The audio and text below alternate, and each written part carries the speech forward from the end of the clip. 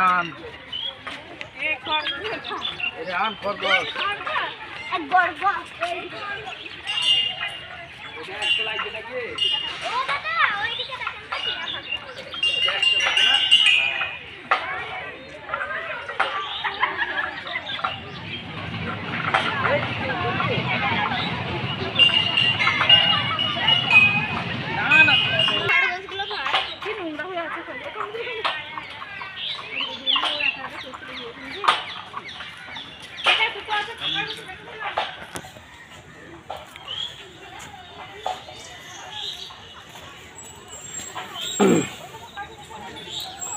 Cricket খেলোয়াড়টির শরীরের বিভিন্ন অংশগুলি এবার ছিদ্রের মধ্যে দিয়ে এক সুখ দিয়ে দেখলে সেগুলো সব একটা শরীরের অংশ মনে হচ্ছে সেটা এখানে দেখাচ্ছে।